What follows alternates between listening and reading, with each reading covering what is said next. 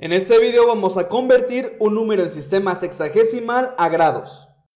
Y el ejercicio que vamos a realizar es el siguiente. Vamos a convertir 98 grados, 22 minutos y 55 segundos.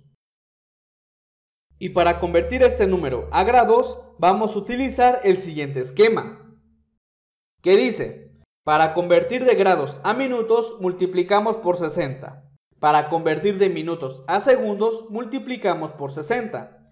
Para convertir de grados a segundos, multiplicamos por 3600. Ahora bien, para convertir segundos a minutos, dividimos por el número 60. Para convertir de minutos a grados, dividimos por el número 60. Y para convertir de segundos a grados, dividimos por 3600. Ahora, la primera columna, 98 grados lo volvemos a escribir, porque ya está en grados. Ahora vamos a convertir 22 minutos a grados. Para eso, al número 22 lo vamos a dividir por el número 60.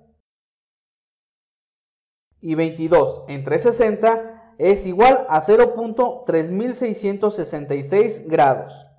Como observación, únicamente escribimos los primeros cuatro decimales. Entonces tenemos 98 grados, 22 minutos, es decir, 98 grados más 0.3666 grados. Ahora vamos a convertir 55 segundos.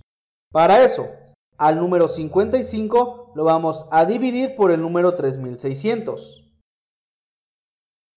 Y 55 entre 3600 es 0. 0,152 grados.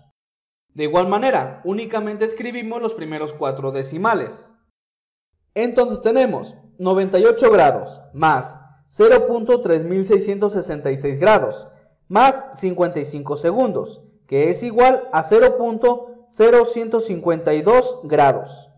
Y al realizar esta suma, tenemos que es igual a 98.3818 grados. Entonces, para concluir, 98 grados, 22 minutos y 55 segundos es igual a 98.3818 grados. Bien amigos, gracias por visitarnos. Si te gustó este video, suscríbete y compártelo.